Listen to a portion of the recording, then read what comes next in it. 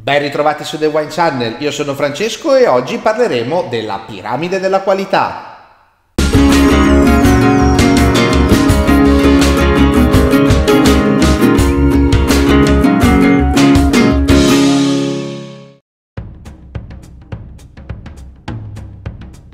Tramite l'hashtag AskTheWine in un commento sotto ai miei video, Simona Leopizzi mi ha chiesto maggiori chiarimenti sulla differenza tra DOCG, DOC, IGP, tutte denominazioni che noi troviamo all'interno delle etichette quando andiamo a acquistare il nostro vino al supermercato oppure in enoteca. E, e quindi non possiamo far altro che in questa puntata parlare della cosiddetta piramide della qualità. Eh, quindi quelli, diciamo, quell'insieme di denominazioni che ci fanno percepire eh, almeno a livello di prima scrematura eh, la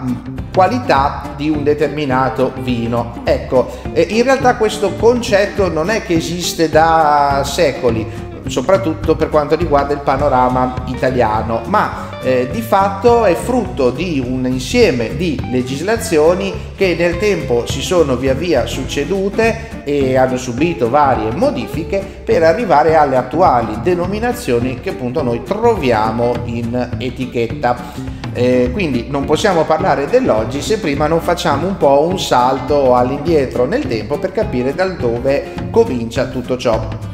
e in Italia tutto, tutto, questo comincia nel 1930 quando viene fatta una, la prima vera legislazione eh, organica per quanto riguarda il mondo del vino. Di fatto questa legislazione era a difesa della cosiddetta tipicità Tipicità che è un concetto in realtà abbastanza fumoso perché è una sorta di via di mezzo non molto chiara tra qualità e provenienza. Quindi da una parte si voleva difendere eh, la qualità, quindi l'aspetto qualitativo organolettico del vino, ma dall'altra si voleva tutelare la eh, provenienza. Prima c'era una sorta di caos dove di fatto ognuno sulla propria etichetta poteva scrivere oh, quello che voleva e quindi poteva mm, generare un inganno, trarre in inganno il consumatore. Ed ecco che eh, questa prima legislazione in maniera molto eh, salomonica, se così possiamo dire, ha diviso tutti i vini italiani in due grandi famiglie. Difatti i vini cosiddetti tipici e i vini senza nessuna indicazione. Come potete ben capire grandi, queste due grandi famiglie potevano voler dire tutto e voler dire niente Mm, ecco, poi nei vini tipici in realtà c'erano anche delle sotto, diciamo così, categorie, definiti vini speciali, vini superiori, vini fini, però come potete capire non c'era in realtà nessun ancoraggio a eh, quello che poteva essere un criterio effettivo eh, di differenziazione e, e, di fatto era forse una legge che dava ordine, un po' più di ordine, ma in realtà non garantiva appieno la riconoscibilità delle varie vitigni, delle varie etichette. E quindi facciamo un altro salto nel tempo, ci spostiamo avanti di poco più di 30 anni, siamo nel 1963, il DPR 930 cambia la classificazione, quindi allarga, se così vogliamo dire, le, eh, le, denominazioni, o meglio arricchisce il panorama delle denominazioni andando a inserire, intanto, intanto, intanto a inserire due che intanto conosciamo molto bene, quindi la DOC, denominazione di origine controllata, e la DOCG, denominazione di origine controllata e garantita, quelle che ritroviamo ancora oggi sulle etichette. In più vi erano altre due eh, categorie, perché se DOCG e DOC erano diciamo la parte più alta della piramide, nella parte in mezzo vi era le DOS, denominazione di origine semplice, mentre invece alla base vi erano i vini senza denominazione. Altro salto di 30 anni, sembra quasi che si vada di 30 in 30, arriviamo nel 1992 e eh, arriviamo alla legge 164 che va a recepire una normativa CE, quindi comincia anche l'Europa con le sue legislazioni ad andare a modificare il panorama del mondo del vino e di fatto eh, mentre l'apice della piramide sostanzialmente rimarrà eh, stabile, andremo a, ad osservare dei cambiamenti per quanto riguarda gli altri due livelli. Infatti DOS e, e vini senza denominazione diventano IGT, indicazione geografica tipica, e i cosiddetti vini da tavola. Quindi diciamo eh, questi vini che rientravano, che erano un po' più liberi da vincoli di provenienza o di eh, disciplinari produttivi e che di fatto si ponevano alla, nella parte più bassa, quella diciamo così di largo consumo. Ulteriore salto, arriviamo nel 2009, la legge, 100, la legge scusate, 88, che va a recepire anche qui un'armonizzazione a livello europeo che però non riguarda solo i vini, mm, i, vini eh, i vini, ma tutti i prodotti dell'agroalimentare. Infatti eh, qui eh, si va a eh, definire mh, mm, delle nuove categorie che vanno appunto a mh, mm, diciamo a descrivere e a suddividere i vini in base alla provenienza, quindi il concetto che l'Unione Europea vuole rimarcare è la provenienza del prodotto, quindi la salvaguardia delle specificità di provenienza. Eh, quindi a questo punto che cosa introduce? L'Unione Europea introduce delle nuove categorie che sono la DOP, denominazione di origine protetta, nelle quali confluiranno DOCG e DOC eh, che però manterranno, potranno mantenere questo nome, di fatto quindi in Italia ancora possiamo attribuire queste due denominazioni oppure scegliere la DOP. Come potete capire la DOP discrimina meno rispetto a quanto fanno le due menzioni precedenti. Poi la IGT diventa IGP, indicazione di geografica protetta, anche qui tema sempre legato alla territorialità e infine l'ultimo gradino sono i cosiddetti vini generici con la particolarità in più dei cosiddetti vini varietali. E proprio, partiamo proprio dalla base della piramide, quindi i vini generici, quelli che di larghissimo consumo, a volte anche molto spesso di basso costo, eh, prodotti con eh, tecniche diciamo non mh, mm, diciamo, stabilite da dei disciplinari o anche come provenienza delle uve possono essere utilizzate le uve delle provenienze più generiche, facoltativamente possono indicare il riferimento all'annata e se parliamo esclusivamente per quella sottocategoria di vini varietali, possono indicare anche il vitigno di provenienza. Però il vitigno di provenienza è eh, diciamo obbligato all'interno di determinati appunto vitigni che vi vado a leggere perché sono un po' come i sette nani e rischio di scordarsene sempre uno. Allora abbiamo il Cabernet, il Cabernet Franc, il Cabernet Sauvignon, il Syrah, lo Chardonnay, il Merlot e il Sauvignon. Quindi solo questi possono essere indicati in etichetta per legge. Di fatto quindi questi vini non hanno nessun vincolo particolare se non il rispetto delle norma- vicenti normative igienico-sanitarie e del tasso minimo alcolico per essere denominati vino. Ecco, quindi di fatto fanno riferimento solo alle regole generali saliamo di un livello alla nostra piramide e troviamo gli IGP barra IGT. In questo caso troviamo un collegamento molto forte al territorio. Per questi video è previsto un disciplinare, quindi di fatto un insieme di regole più stringenti rispetto a quanto abbiamo visto per i vini generici, i vini varietali. Ehm, di fatto perché parliamo di legame con il territorio? Perché comunque la caratteristica principale di questi vini è che per almeno l'85% devono essere fatti con uve provenienti dal territorio che viene indicato in etichetta. Quindi di fatto eh, c'è una sorta di eh, certezza o quantomeno di maggior sicurezza rispetto alla provenienza delle uve.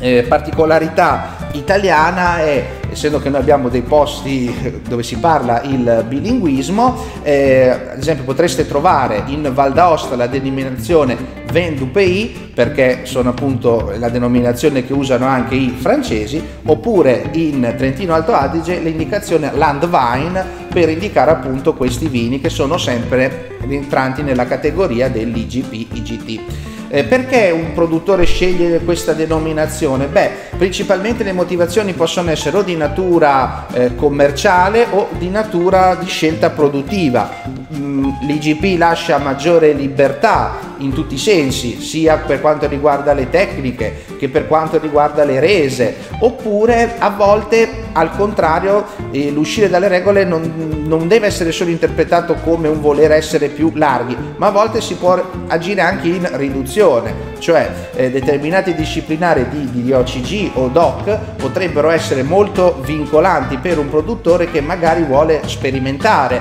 oppure vuole essere ancora più restrittivo rispetto a quanto prevedono i, lo, i suoi disciplinari o ancora utilizzare delle tecniche eh, particolari che la, mm, appunto, la, eh, la, disciplinare non prevede. Ecco, quindi di fatto eh, a volte queste scelte commerciali di differenziazione portano alcuni produttori a, così si dice in gergo, declassare il vino a IGP o a IGT proprio per non rientrare nei vincoli dei disciplinari delle denominazioni più alte. Infine arriviamo all'apice della nostra piramide, quindi i vini DOP, al cui interno vi sono ricompresi le DOCG e le DOC.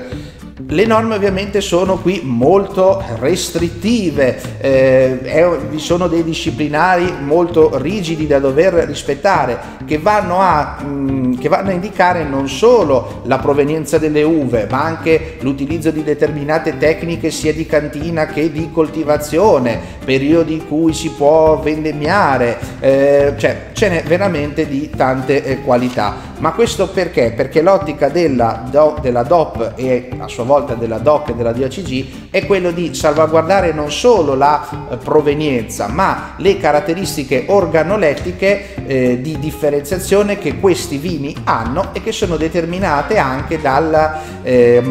so, da tipicità climatiche di determinati luoghi. Se ad esempio pensiamo alla eh, Sicilia, eh, probabilmente è diverso produrre un vino vicino al mare o più nell'entroterra. Ecco, quindi le DOC, le DOCG eh, vanno anche a tutelare questo, ma non solo, vanno a tutelare anche il percorso storico di un determinato vino, quindi il fatto che abbia una origine molto antica o anche fattori umani che, o quindi determinate tecniche di eh, lavorazione in cantina che eh, quindi rendono questi vini meritevoli di una menzione, una denominazione apposita. Quindi eh, questi vini hanno un disciplinare apposito con norme più restrittive che vanno a ridurre la zona di produzione e di provenienza di queste, delle uve rispetto all'IGP eh, vengono preliminarmente valutate con delle analisi di tipo chimico-fisico e organolettico per andare a eh, stabilire se effettivamente questi eh, vini hanno delle caratteristiche peculiari rispetto al, al vino IGP e quindi una volta che hanno superato questo diciamo, esame viene emesso un un decreto, eh, solitamente un decreto del Presidente della Repubblica, un decreto ministeriale, che vanno a stabilire di fatto la nascita del disciplinare e quindi il fatto che quel vino potrà portare quella determinata menzione. Eh, le prime DOC, DOC, quindi le prime DOC in Italia, sono nate nel 66, o meglio, su questo c'è un po' di diatriba storica, perché di fatto se da una parte abbiamo eh, quelle effettivamente riconosciute, quindi quelle di cui si ha una certezza, se così vogliamo dire, storica, come ad esempio eh, quelle nate nel 66, quindi la Vernaccia di San Gimignano, l'Est Est Est di Montefiascone, l'Ischia nelle sue tre versioni rosso, bianco e superiore e il Frascati, in quanto appunto i loro disciplinari sono stati pubblicati nel corso dell'anno 1966, ricordiamo dopo l'uscita della legge del 63, la legge del 63 stessa fa espressa menzione del mantenimento delle denominazioni Marsala e Moscato Passito di Pantelleria ed è qui diciamo un po' dove si combatte questa diatriba. È un po' una curiosità di cui vi voglio eh, parlare appunto su chi è stata veramente la prima DOC in Italia. Questo perché? Perché conto è guardare la legge e quindi vedere che effettivamente i, primi disciplinari sono quelli strutturati sulla base della legge del 63, sono quelli dei quattro vini che vi ho denominato in precedenza. In realtà poi la legge stessa del 63 menziona a sua volta il fatto che due vini potevano mantenere quella determinata denominazione che era stata in realtà attribuita a suo tempo a seguito di legislazioni fatte dai eh, richieste dai produttori per tutelare i loro prodotti. Bene, come vedete il mondo è bello perché è vario. Eh, quindi lasciando questa disputa a storici e a come dire eh, giuristi andiamo invece a parlare un po' più della DOCG quindi la DOCG rispetto alla DOC è un vino che ha dei disciplinari ancora se vogliamo più uh, rigidi, ehm, di fatto normalmente una DOCG si può ottenere dopo che il vino è stato all'interno di una DOC per almeno 5 anni e, e di fatto sono portatori di caratteristiche peculiari e organolettiche che derivano da non solo la zona di produzione ma anche da fattori umani e storici, un po' quello che abbiamo visto prima, cioè quindi dove effettivamente il fatto di stare in un determinato luogo con una determinata storia, con l'utilizzo di determinate tecniche dà a questo vino delle caratteristiche anche percepibili rispetto al resto eh, delle, eh, delle DOC o delle IGP presenti all'interno di quello stesso territorio. Eh, di fatto eh, questi vini hanno un ulteriore eh, meccanismo di analisi che va a interrogare appunto le caratteristiche chimico-fisiche anche durante la fase dell'imbottigliamento, cioè nel momento dell'imbottigliamento partita per partita vengono fatte delle analisi per vedere se il vino rispetta le caratteristiche del disciplinare. E in più vi è anche l'analisi sensoriale fatta da un'apposita commissione che va appunto a stabilire effettivamente le tipicità e le differenziazioni rispetto alle DOC, quindi un ulteriore esame che la DOCG deve eh, subire per potersi denominare in tal senso. Ricordiamo inoltre che le DOCG, a differenza delle DOC, hanno l'obbligo della cosiddetta fascetta, quella fascetta che trovate nel collo della bottiglia che si va a rompere nel momento in cui noi andiamo ad aprire e stappare il vino, ecco è obbligatoria per le DOCG, quindi le DOCG devono riportare quella fascetta, mentre invece le DOC possono, e, eh, le DOC possono farne anche a meno, è una scelta del eh, produttore se metterle oppure no. E infine andiamo a vedere alcune ulteriori diciamo sottodenominazioni, chiamiamole così, o uh, suffissi che i, le DOC e le DOCG possono apporre all'interno dei loro vini sempre se presenti all'interno del disciplinare. Ricordiamo sempre che ciò che comanda è il disciplinare. Abbiamo delle menzioni che abbiamo, meglio delle eh, indicazioni ulteriori che abbiamo anche già trovato all'interno di alcuni vini eh, che abbiamo assaggiato anche qui nelle varie puntate, tra cui l'indicazione superiore, che ricordiamo è un vino che ha una gradazione alcolica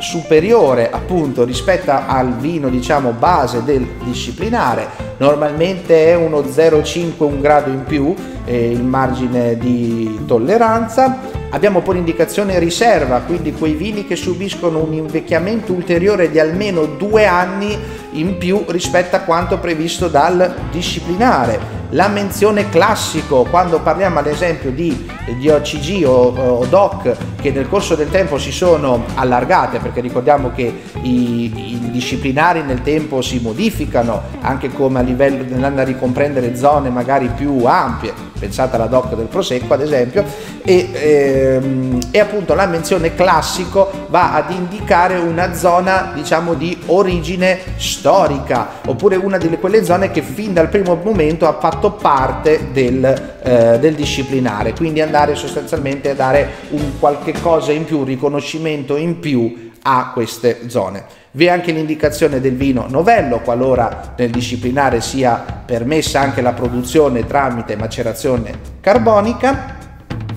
e poi abbiamo le cosiddette sottozone, le menzioni geografiche aggiuntive. Di fatto queste sottozone e menzioni geografiche aggiuntive sono un'ulteriore sofisticazione rispetto al concetto di territorio. Infatti queste vanno ad indicare un co- una provenienza ancora più particolare, ancora un po' più ristretta, sia per quanto riguarda le uve che la produzione stessa. Infatti ehm, questi concetti si ritrovano anche ad esempio in Francia, quando sentite, sentite, parlare di ad esempio terroir, ecco, il concetto di terroir a grandi linee, adesso sto un po' semplificando prima che mi saltino addosso tutti i vari esperti, eh, però diciamo riecheggia questo, nel termine sottozona, perché di fatto va a indicare un insieme di caratteristiche climatiche, eh, del suolo, de, storiche, dell'intervento umano che vanno a dare a quel vino quelle determinate caratteristiche e che quindi lo rendono diverso rispetto agli altri. Ancora più, diciamo, stretta è la menzione appunto geografica aggiuntiva, perché va ulteriormente a ridurre questo concetto. Quindi se prima magari ne parlavamo di, ad esempio per, il, per le sottozone parlavamo ad esempio di comuni determinati, può darsi che lì andiamo a parlare anche proprio di parti di un determinato comune, non so, versanti di un determinato monte, quindi ancora più a ristringere. I francesi qui usano più il termine climat per andare a, a dare questo, diciamo, eh, per dare un termine di paragone, non va confuso, o meglio, non è esattamente assimilabile al concetto di cru, in quanto il cru, che per i francesi è il singolo vigneto dal quale viene prodotto un determinato vino, è ancora in Italia un concetto che non è ben eh, stato assorbito, comunque non sempre è eh, denominato nei, nei, disciplinari. La menzione geografica aggiuntiva, ad esempio, è presente, mi viene in mente, ad esempio, alcuni, mh, nel Barolo, nel Barbaresco, però il concetto ancora di cru non è perfettamente ancora assimilato, però mh, nulla vieta che magari nell'evoluzione futura anche questo termine francese possa entrare all'interno della nostra legislazione. Bene, direi che eh, con eh, questo video un po' lungo ma sicuramente esaustivo eh, vi ho dato una panoramica molto veloce della piramide della qualità ma se avete qualche altro dubbio o qualche altra domanda da farmi così come ha fatto Simona utilizzate l'hashtag AskTheWine e io vi risponderò in un video oppure direttamente nei commenti a questo video o agli altri video. Ricordandovi di iscrivervi al canale e cliccare la campanella per essere sempre aggiornati sulle novità ed iscrivervi alla pagina Facebook e al canale Instagram. Mm, vi saluto ricordandovi che non bisogna bere se si ha meno di 18 anni, non bisogna bere prima di mettersi alla guida o fare attività pericolosi, ma soprattutto bisogna bere con moderazione, ma di qualità. Ciao alla prossima con Francesco su The Wine Channel.